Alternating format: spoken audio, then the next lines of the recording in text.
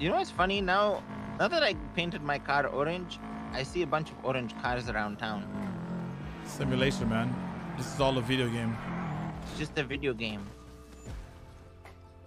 When do we take the headset off? Um, I don't know.